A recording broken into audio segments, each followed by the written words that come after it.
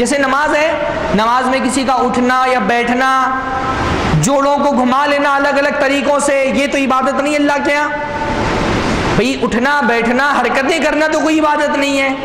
جب تک اس عبادت کے پیچھے ایک خلوص اور للہیت والی نیت نہ ہو، بھئی آدمی کھڑا ہو تو کھڑا ہونا کوئی عبادت نہیں ہے۔ لیکن آپ نماز میں ہاتھ باندھ کر کے کھڑے ہوتے ہیں تو یہ عبادت کیوں بنتا ہے؟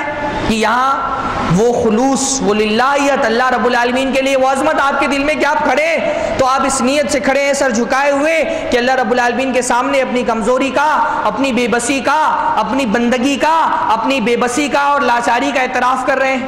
اللہ کی عظمت کا اعتراف کر رہے ہیں۔ سر جھکائے کھڑے ہوئے، اللہ کا کلام پڑھا جا رہا ہے، آپ نے سر جھکایا ہوا ہے۔ تو یہ آپ کا کھڑا ہونا عبادت ہو جاتا ہے۔ آپ رکو میں سر جھکاتے تو سر جھکانے والے تو دنیا میں بہت سارے لوگ ہیں، لیکن یہ آپ کا سر جھکانا اللہ کو ایسا محبوب ہے کہ اللہ کے نبی صلی اللہ علیہ وسلم نے فرمایا کہ بندہ سجدے میں اپنے رب سے سب سے زیادہ قریب ہوتا ہے۔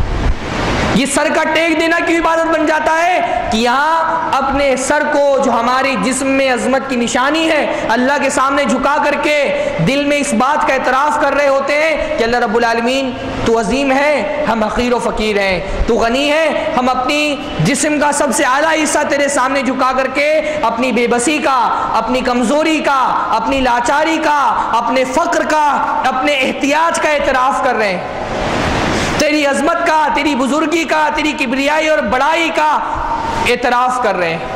تو یہ سر جھکانا عبادت بن جاتا ہے۔ عظیم ترین عبادت بن جاتا ہے۔